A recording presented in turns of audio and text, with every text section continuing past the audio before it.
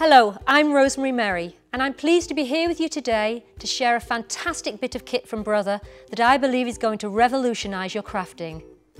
This is literally straight out of the box, isn't it cute? It's the Brother colour label printer and it's available to purchase now. The printer takes a range of tapes, 9, 12, 19, 25 and 50 millimetre widths. The tapes are easily inserted into the back of the printer, just like this. To get started, you'll need to download the Brother Colour Label Editor app from your App Store. And that's colour spelt the American way, C-O-L-O-R.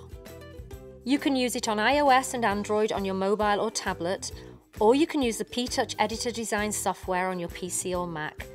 Just make sure your device is connected to the Wi-Fi. Launch the app, select the printer and hit OK. Plug your printer in and hit OK again. Press and hold the power button on the bottom corner of the printer for two seconds and then release it. The lights will start to flash on the front and you'll hear the printer coming to life. When all the noise is finished, it means the printer is ready to go. Hit Next on the app. We've already loaded our cassettes, so we can just hit OK and then OK again. To set up the Wi-Fi connection, the Wi-Fi button should be solid white. If it isn't, just press it to change Wi-Fi modes. When it changes to solid white, hit Next. Now the next bit requires you to leave the app for a moment and visit your settings on your device. In Settings, select Wi-Fi and choose the Brother VC500W wireless network to connect to.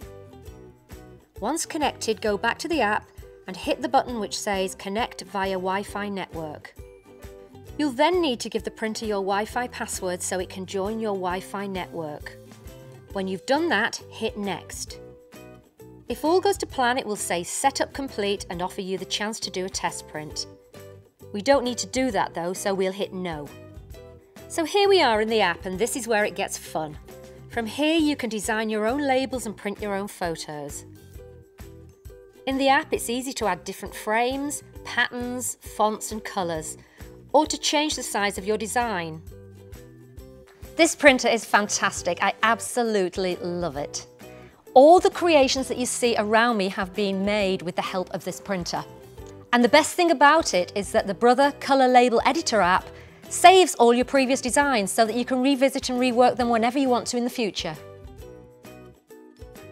So whether you're just starting out or whether you're a seasoned crafter just like me, you're going to find new things to use your printer for each and every time.